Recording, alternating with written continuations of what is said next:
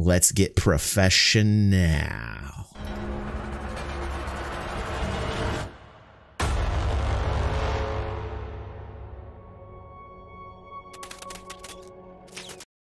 And welcome back to the games.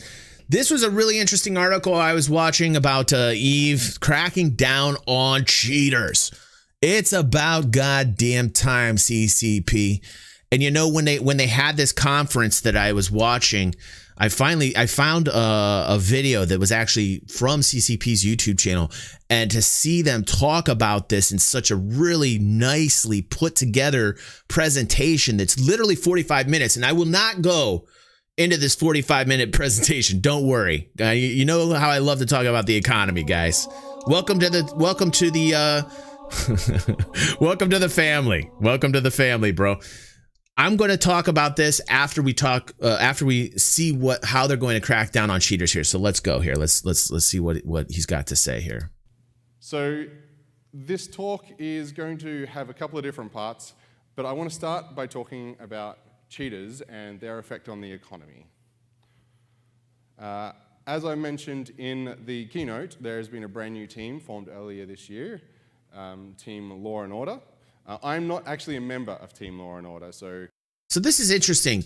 So one of the things that they're doing is they're actually having an active human gaming population that is called Team Law and Order.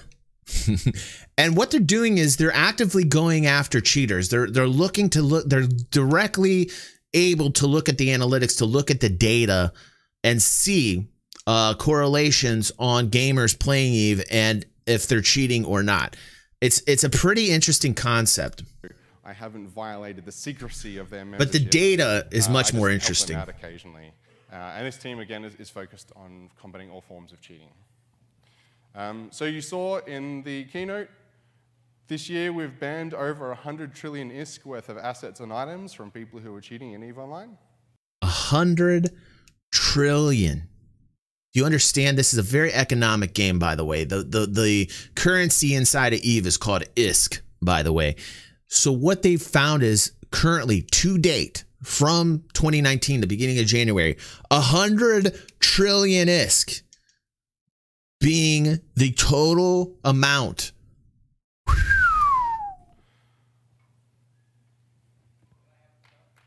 No. And and the developers like don't clap at that. Like, I love that there is a guy out there clapping, like, all right, 100 trillion being stolen. like, the guy absolutely doesn't see, like, he doesn't understand. And, you know, this guy being an analyst and an economist is like, no, don't, don't clap at that. That's not a good thing because this decreases the value of the currency. This actually, this amount of cheating will actually decrease the amount of ISK for you in game so that when you're ratting and doing the things that you're missioning in Eve, the, the, like say you made 10 million, right? Well, because of this, there's a percentage that gets lopped off. So the 10 million might be, for instance, somewhere around 8 million instead of 10, because that's now the value because the amount of cheaters here, 100 trillion from cheaters. what some of the assets we banned are. He's saying, do you want to know what some of the assets are? The next slide. Sorry. This is crazy. This part. So far, we have banned right, Fox. This just this year, 39 Titans. 39 Titans. That's oof. doesn't seem like much actually, but carriers. 156 super carriers. Almost 730 oh, capitals. What? oh my god. this is all from cheating. Skill extractors. And they they found this out. And the cool thing is they never did this research before. So this is a crackdown on cheating in Eve. I love it. I love it. Over 13,000 large skill injectors. Oh, shit. And hey. Three and a half million plex. Oh, my God. And that's great. They're cracking down on the cheating. I love it that they're actively cracking down on the cheating. I love it. Then some douchebag in the audience says, Well, I only see 39 Titans on there. Why is there only 39? And the thing is, it's like, uh, it's like they're doing work. They're doing the work. Give them the time to do the work that they need to do. So I, we should work on that. We Uh, should so work I on want that. to talk a little bit about Sentinel. Sentinel is one of the tools that we use to detect uh, people who are cheating in EVE Online in, in the actual game. Uh, the Tranquility server every day it generates a whole bunch of log information. Right, it Donnie? generates this in a variety of different method, uh, methods. Right, I'm uh, surprised you didn't leave, dude. SQL databases and what have you. And we have built a lot of hunters um, that actually go over all of this data. They go over it in real time. And Really good. I'm glad that they're cracking down on it. for uh, characters. Let me let me fast forward a little bit here to other graph porn here that we've got. But we're constantly adding new uh, detection methods, uh, new hunters to this system, and refining good. our methods that we. I'm glad to uh, hear that. Systems. But we, we This might make Eve playable again for industrial economic players. This actually might be a very good thing to bring back a, a large portion of industrial players that left because they knew cheating was rampant. So where? Oh, hold on. Let me let me see if there's more graph graphical porn here. So this animation shows the gross NPC bounties from uh, total players for every single player, and then the red line that you see up there, that's from people who we're pretty sure, we're very confident are cheating, but we haven't got around to banning yet. Um, you can quite clearly see the sino changes, the red line there, and you can see sort of the proportion of the economy that is coming from people who we think we're pretty sure are cheating. In fact, it's around about 16%.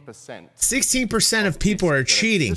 So essentially what that means is the amount of ISK uh you what what you're going to see is this amount of cheating from 16% of the player base cheating actually devalues the currency, devalues ISK by 16%. So so for instance, like one of the examples I said, say you're ratting, which is a form of actually going out and farming. They call it ratting in Eve. You go out there, you blow up a whole bunch of NPCs, you make uh say a hundred million. Well, because of the amount of cheaters in the game and the amount of uh ISK that has been uh, like pushed into the game because of the cheating, 16% devaluation of that 100 million puts you at 84 million. So the 100 million that you actually thought you had is only worth 84 million right now because of these cheaters. That's pretty significant. Coming from NPC kills are coming from people we think are cheating. So if we just step back for a moment and we pretend that the only way of getting is killing NPCs, which obviously it isn't, but let's pretend that. If you Yeah, it- it spend should, your, Mosquito. Your time Listen to him. You, you kill a bunch of NPCs and you earn 100 million ISK, those cheaters are effectively devaluing that ISK by 16%. Boom. You Told you, Mosquito. you would get the I didn't even watch that part. about, uh, 84 million. Just saying, I got skills. Now, professional. this- this hashtag professional. Just saying, bro. Because there are other ways of getting ISK in EVE Online, and also people who are cheating are not just killing NPCs; they're also mining and getting LP and everything else. Interestingly, Yes, Ray. during blackout, Hey, welcome to the stream, Ray. Of ISK coming from cheaters dropped around about five percent.